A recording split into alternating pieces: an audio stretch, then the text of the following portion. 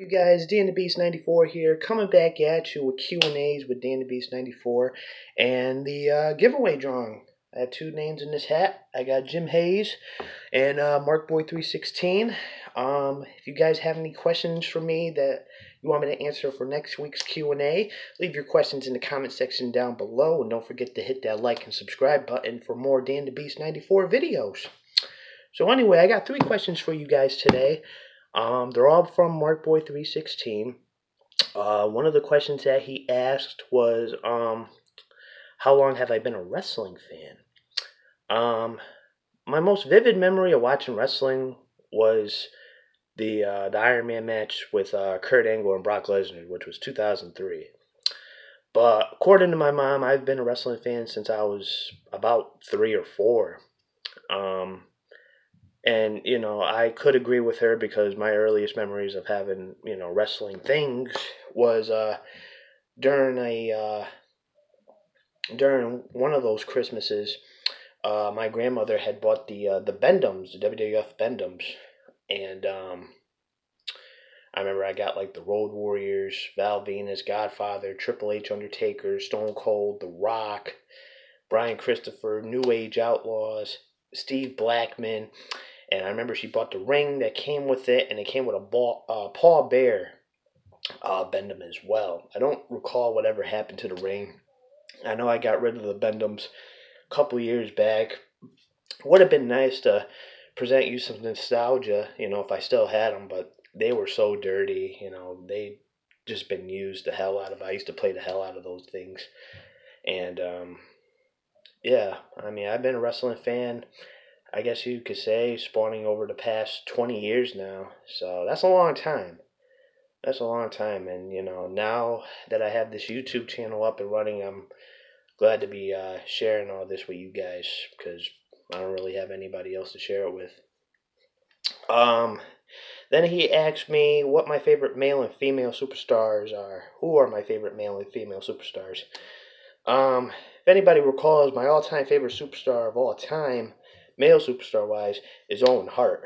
But just to be fair, if we're talking about today's generation of wrestling, you know, people who are actually current currently active today, whether it's WWE, TNA, um, Ring of Honor, AEW, uh, my two favorites, male and female, are Kenny Omega and Asuka. Kenny Omega, I've been a fan of his for the past couple years now, ever since he joined Bullet Club. I wasn't really familiar with who he was until I caught him, you know, joining the Bullet Club, becoming Intercontinental Champion. Then he had that match with Chris Jericho at Wrestle Kingdom back in 2018. I thought that was phenomenal. Um, and uh, now I get to see him on AEW. Actually, actually get to see him on live television instead of just browsing through YouTube or any type of social media just to catch a match. Um, he was at Northeast Wrestling a couple years ago um, in New York.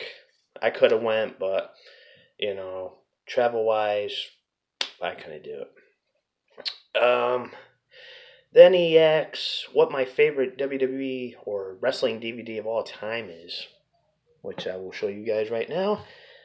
Uh, the Road Warriors, the life and death of the most dominant tag team in wrestling history. This is a two disc set. Um, basically, just talking about their career, um, how they started, how they met, where they were trained. Um, basically, winning every type of tag team championship around the globe, and then talking about their their rise and falls, especially with Hawk's demons, with alcohol and um, drugs. Um, I wish that DVD would have gone into a little bit more detail on what Hawk did after he left the WWE in '92 because I know he had a stint in ECW. Um, I know he ended up going to like New Japan. He formed a tag team with uh, a wrestler named the Power Warrior, formed the Hellraisers, um, until Hawk and Animal reformed in '96 for uh, WCW. Had a brief WCW stint, came back in WWE in '97, left in early '99, and they had a story going on around '98 where they basically brought Hawk's real life problems onto television, which I don't really think that was the best move, especially for Hawk. You know, I don't think Hawk was really comfortable with it.